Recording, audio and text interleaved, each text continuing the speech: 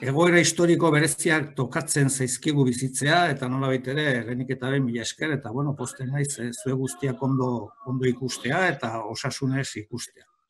Gaurko honetan Euskal Herria bildu berriz ere bere herriaren aurrean hitz egin nahi du eta bere herriari hitz egin nahi du. Eta behin gogoratu behar dugu egoera gogor bat bizitzen ari garela, etxean gaudela, askok eta asko zaintzarekin arazo itzelak dituztela, gure komertzianteak, gure autonomoak, bere tabernak dituztenak, restauranteak, enpresa txikiak, kezkatuta daude, egungo egoerarekin eta etorkizunek daiteken egoerarekin, eta nola ez, ba, nire lehen agurra beraien guztiontza da, eta baita ere, nola ez, eta garbi esan da, ba, osasun biden eta osasun gintzan lanean ari diren zerbitzari publiko nola, nola ere lehen lerroan daudena koronavirusari aurre egiten, ez? Baina, dudari gabe egoera oso gogor bat bizitzen ari gara, eta horrela saldu bertzaio jendeari, jendeak pertsona eh, eta lehen pertsonan bizitzen ari delako. Pentsaurrekoari hasiera emateko termino politikoetan esango nuke guretzat funtsezkoa dela azken astetan gertatutakoari errepasotxo oso labur bat emateaz. Azken asteetan egiten badugu nola baiteko azten, azken asteetako balantzea, esan daiteke nola baitere kutsaduraren kurba esponentzialki igotzen ari dela eta hildakoen kurba esponentzialke ere e, igotzen ari dela. Esan dezakegu Euskal Herrian momentu honetan zazpi mila inguru kutsatu daudela gaudela eta irureun eta amabi hildako ditugula jada.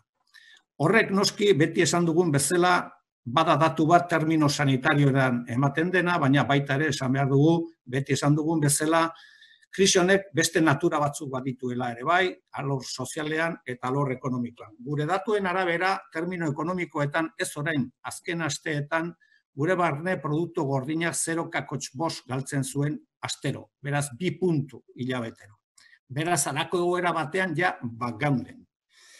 Bigarrenik, utzi ezazue esaten gauza bat guretzat ere funtseskoa dena momentu honetan asko aipatzen da elkarlana, asko aipatzen da denok batera jun behar garela, eta gu horrekin ados gaude, eta ez bakarrik ados, tresnak planteatu ditugu hori horrela izateko, baina batzuk uste dute kritika egitea nola baitere debekatua dagoen gauza badela momentu honetan. Eta guk aldiz uste dugu arduragatik egin behar diren kritikak egin behar direla. Baina termino eraikitzailetan egin behar direla. Kritikak herri bezala hobeago egiten gaituzte eta gure ardura politikoa da gauzak esatea. Esatea beti tonu honean eta beti formak mantenduz. Eta hori egin dugu lehenengo momentutik. Gu lehenengo momentutik esan egin dugu eta berriro errepikatzen e, dugu gaur, hemen gauzak gaizki eta berandu egiten ari direla e, nola baitere e, laburpen gisa. Eta hori kritika bada, noski, baina kritika eraikitzaile bat da. Hori esateagatik guk isekak, insultoak, adjetibo guztiak jaso ditugu, baina gaur ez da eguna, eta atozen asteak ere ez dira eguna izango, nola ere horri termino bere txuetan sekulan ere erantzuteko. Ez dut horretan, ez da minutu bat ere galduko gauza hoiei erantzute. Euskal Herria bildu bere herriari gauza bat planteatu nahi dio, argita garbi. Gu badugu tesi bat, eta badugu estrategia bat. Ez dakigu bestek ze tesi eta zer estrategia duten. Gu badugu tesi bat eta badugu estrategia bat, tesi horrekin koherentea dena. Lehenengo momentutik esan genuen, guretzat osasuna zaintzea zela lehentasunezko gauza. Eta lehentasunezko helburua. Eta horrekin batera esaten genuen, etzegola inbertsio ekonomiko hobeagorik pandemia gelditzea baino. Hori zen gure tesia. Lehenengo momentutik defendatu egin duguna. Eta guk uste dugu horrekin batera orain, eta lehendik ere bai, baina orain, EH Bilduk estrategia bat planteatzen du. Koherentea dena tesi horrekin. Eta zein da estrategia? Momentu honetan berriro diogu. Osasun krisiari aurre egin behar zaio, eta egin behar zaio aurre lehentasunez. Kurbak gelditu behar dira, eta kurbak esponentzialti igotzen ari dira. Bai ekonomikoa, eta bai pandemiarena. Eta beraz guk komunidade zientifikoak erabiltzen duen konzeptu bat berrartu egiten dugu. Mailukaren estrategia behar da orain. Momentu kritiko batean gaude, koronavirusari aurre egiteko, momentu kritiko batean gaude. Eta horren aurrean batzu plantatzen dute, komunidad zientifikotik, mailukaren estrategia behar dela. Hau da, virusaren propagazioari mailukada bat eman behar zaiola. Eta gu horren aldekoa gera. Zertarako kurba gainditzeko eta egun dagoen kurbaren esponentzialki gotzen den tasa geisteko. Eta hori da Euskal Herria Bildu planteatzen duena. Eta hori bi fasetan planteatzen dugu. Lehenengoa atzo berandu eta gaizki Madrileko gobernuak iragarri zuen. Jendea etxera bilari behar da, baina ez ekonomia koman sartzeko, baizik eta nola ere esentzialak ez diren aktibidadeak gelditzeko, inork ez du planteatzen ekonomia zerotan ustea. Gezurra da, eta gainera ekonomia ez dago zerotan momentu honetan. Baina Konfebaskek berak ere onartu egin du, industria momentu honetan eguneko berrogeta marrean ari dela baina ostalaritza, komertzia, itxita dago herri honetan. Eta beraz, zerbitzu minimoak mantentzeko aktibidade ekonomikoaren erena da mantendu egin behar dena momentu honetan gure ustez. Eta horretarako, nola baitere, lehenengo fase horretan hori egin behar dugu. Propagaizioari mailuka da bat. Eta denbora hori irabazi, material sanitarioa lortzeko, testak barreskuratzeko, eta denbora irabazteko. Eta termino ekonomikoetan bypass bat egin behar da. Egungo egoeratik aterako garen egoerara. Hori da lehenengo fasea planteatzen dugu. Bigarren fase honetan, noski, neurri ekonomikoak hartu beharko ditugu, eta dirutza eta diru publikoa erabili beharko da, bi alorretan. Bata, familiak eta langileak bere soldatak eta bere errekurso finantziero ekonomikoak mantendu al izateko. Eta bi, enpresak, gehien bat enpresak, bere koste fijoak, bere koste strukturalak, finantzieroak, erogastuzkoak, mantentzeko. Horretarako egin behar da bypass bat, mantentzeko bizirik familiaren eroste, ero konsumo ahalduntzea, eta baita ere enpresak dituzten koste fijoi aurre egiteko inork ez du planteatzen hemen industriaren aurkako estrategiarik, alderantziz, inbertsio ekonomiko handiena eta oberena eta eraginkorra da, espreski, industria hori mantentzeko, lehiatzeko eta berpizteko momentu honetan egitea, egin den planteamendu eta planteatzen dugun e, estrategia mantentzea. Eta bigarren fase horretan, badugu guk ere, bigarren fase horretarako, nola baiteko plan garbi bat esponentzialki igotzen ari den kutsadura tasa eguneko 0,3 bostera jetxi egin behar da. Eguneko 0,3 ero 0, bostera. Momentu horretarako, test masiboak egin behar dira. Korean egin ziren bezala. Rastreo masiboak egin behar dira. Jakiteko espreski, nola ere, zein populazioaren porzentajea dagoen eroez kutsatuta. Eta gero, hortik aurrera, egin beharko da, orain mantentzen ditugu neurri zorrotzoiek, nola baitere harintze fase batean sartzea. Hori da guk egiten dugun estrategia, eta hori da guk egiten dugun planteamendua. Neurri sanitarioak, neurri ekonomikoak, eta kontuan hartzea herritarrak, familiak, enpresa txikiak, autonomoak, komertzianteak, eta bar. Eta hortik, ateratzeko, norbaite pentsatzen baldin badu hau katarro bat bezalakoa dela eta egunen batetik bestera egingo dugula oso oker dabil. Hau luzea eta gogorra izango da. Baina hemendik ateratzeko eta honekin bukatzen dut, herri gisara jokatu behar dugu. Eta hemen beharrezkoa da Dinamarkan egin duten bezala alderdi politikook, sindikatuok, instituzioak, enpresariak mai batean eseri eta estrategia honi nola garatzen den eta estrategia hau nola implementatzen den inguruko eztabaida bat egin behar da. Utzi bukatzeko azken erreflexio bat egiten. Hemendik aterako gera, baina horretarako nazio gisa erronka badaukagu. Eta erronka horri aurre egingo diogu elkartasunetik. Eta gehien dutenak gehiago ipini beharko dute. Ez dugu berriz ere permitituko, nola baitere krisionetatik ere, langilegoak, emakumeak, pensiodunak gehien ordaintzea. Hori ez da posible. Krisi honetatik aterako gera elkartasunarekin, elkartasun nazionalarekin. Denak gauzak ipiniz, baina gehien dutenek gehiago ipini beharko dute.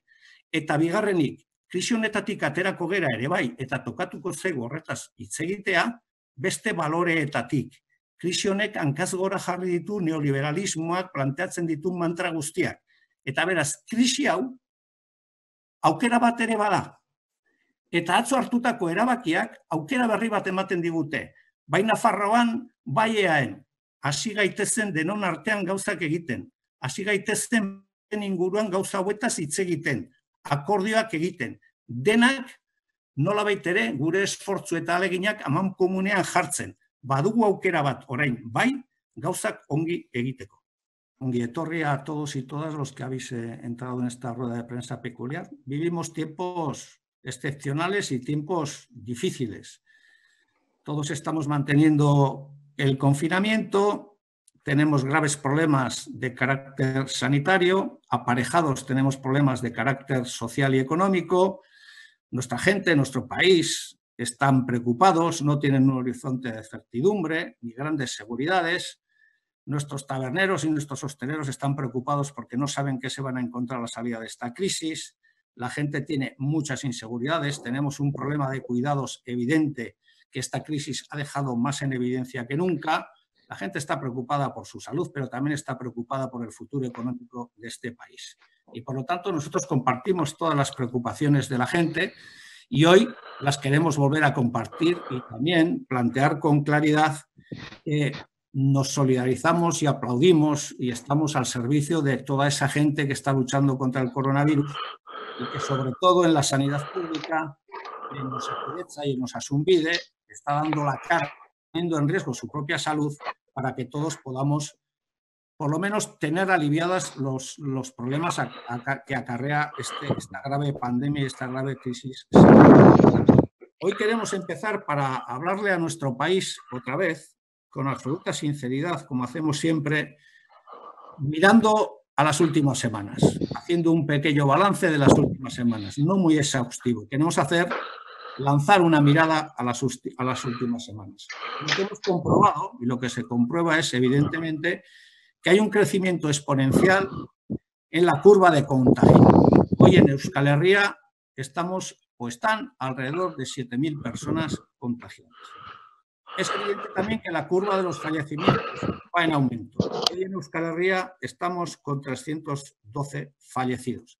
Pero es evidente también, aunque algunos traten de ocultarlo, que también esto está teniendo ya de antes de la toma de decisión de ayer por parte del gobierno español del confinamiento y de la anulación de, todos los, de todas las actividades económicas que no fueran esenciales, también estábamos sufriendo un grave impacto económico. Nosotros hacemos el cálculo de que cada semana este país, los cuatro territorios de este país, del sur de este país, perdíamos más o menos medio punto del Producto Interior Bruto todas las semanas, o sea, dos puntos en un mes éramos muy conscientes de que nos enfrentábamos a una crisis sanitaria que también conllevaba una crisis económica. Esto en primer lugar. Pero el resumen de las últimas semanas es un resumen claro. Las curvas son ascendentes y las curvas son ascendentes en materia de infecciones y en materia de fallecimientos. Y por lo tanto, este es el resumen de las medidas que se han adoptado hasta ahora.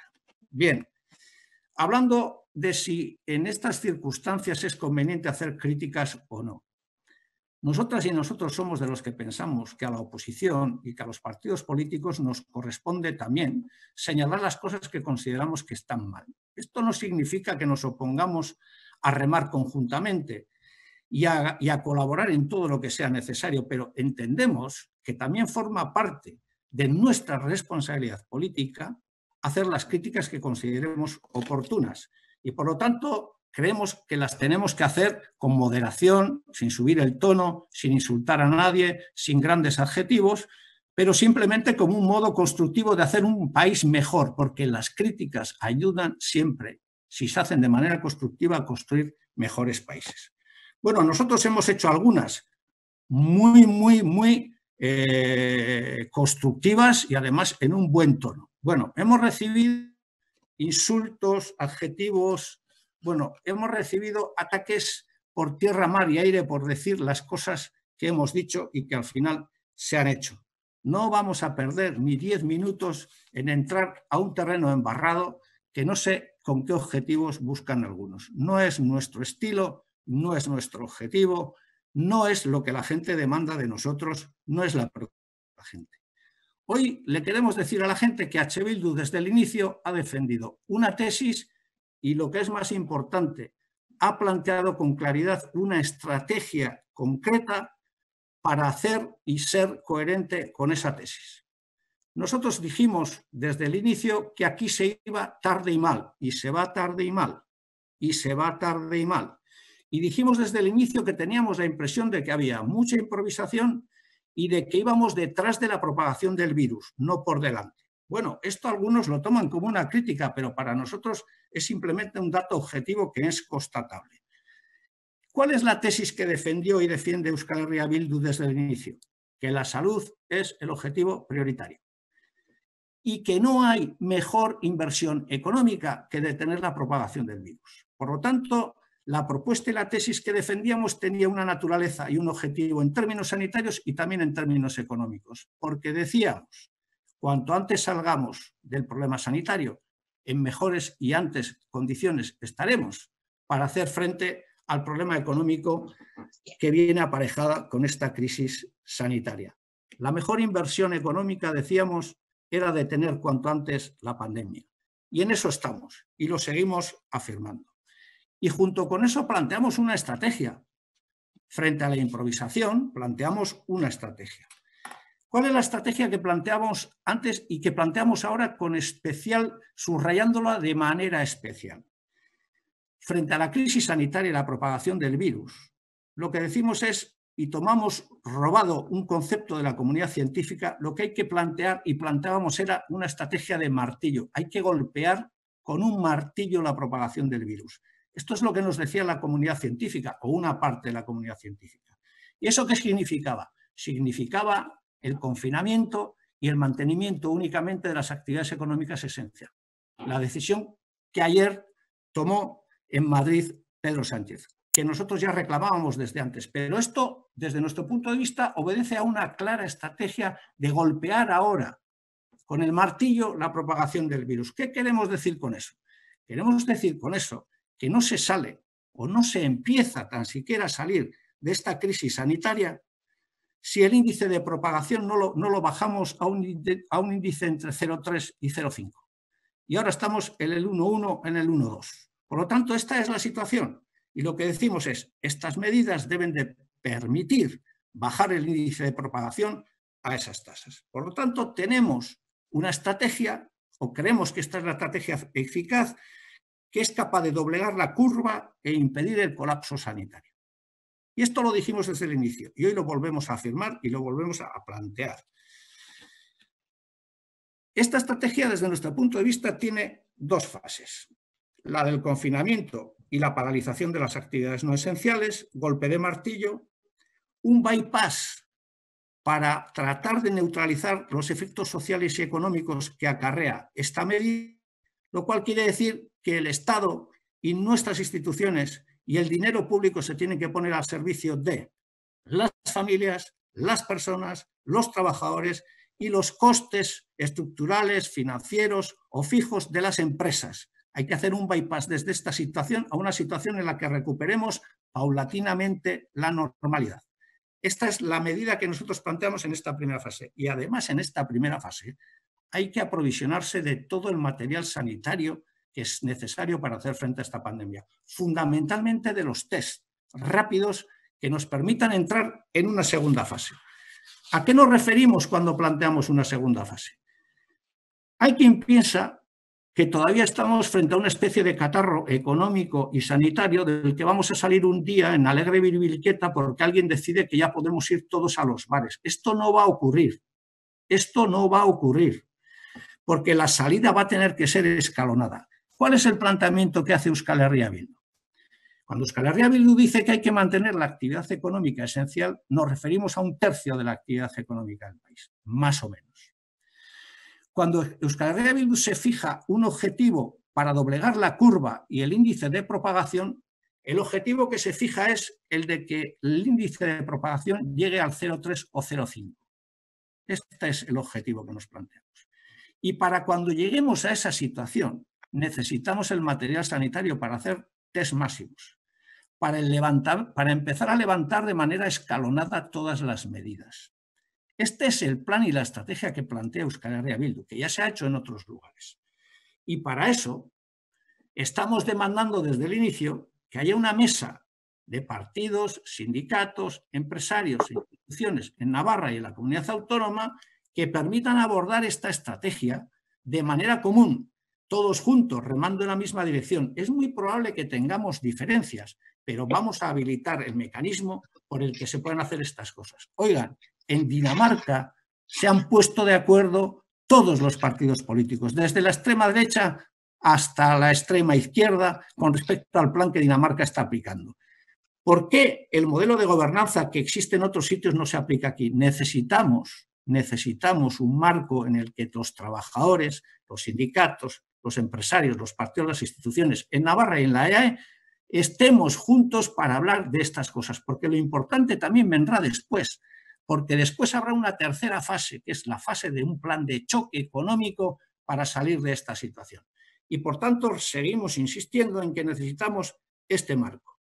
Y por último, seguimos insistiendo en que Euskal Herria Bildu en ese marco planteará un, choque, un plan de choque económico para paliar los efectos de la recesión económica, pero con dos cosas o con dos claves muy a tener en cuenta. La primera, esta crisis no la vamos a volver a pagar los trabajadores, los pensionistas, las mujeres y los sectores más débiles de la sociedad.